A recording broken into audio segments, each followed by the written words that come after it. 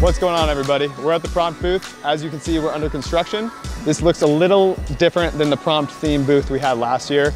Prompt does things differently and we wanted to showcase our innovation, our creativity, and our personality.